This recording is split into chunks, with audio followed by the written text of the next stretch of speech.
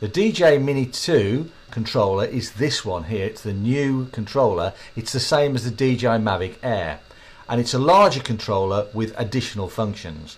It has a far longer battery life and much better transmission connection and range.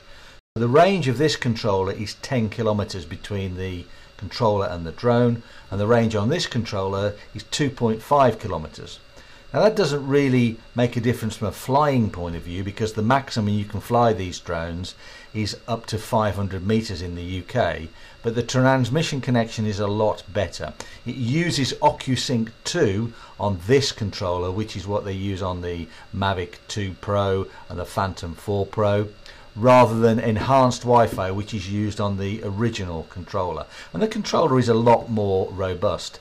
In the top here are the this is where the antennae are, and these are the antennae in here. And this is where your tablet or your phone sits within the area uh, rather than down the bottom. The connection is a lot easier to put in. Also, on your phone, you don't have to take off your cover to put it into this controller, but you normally have to take off your cover to put it into this controller.